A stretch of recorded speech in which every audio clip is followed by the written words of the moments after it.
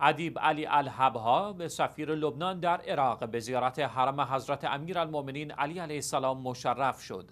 سفیر لبنان در عراق ضمن تشرف به حرم مول الموحدین امیرالمؤمنین علی ابن ابی طالب علیه السلام از سنهای مختلف این حرم متحر بازدید کرد. ادیب علی گفت این دومین بار است که به شهر مقدس نجف قبلگاه اشاق امیر مؤمنان علی ابن ابی طالب علیه السلام مشرف می شوم. به ادامه داد می‌دانیم اصلی که دین اسلام بر آن پای گذاری شده این است. علی با حق و حق با علی است. الحبها افزود هر کسی در عراق ساکن است یا به این کشور میآید باید به زیارت حرم امیر المومنین علیه السلام و سایر اماکن مقدس مشرف شود.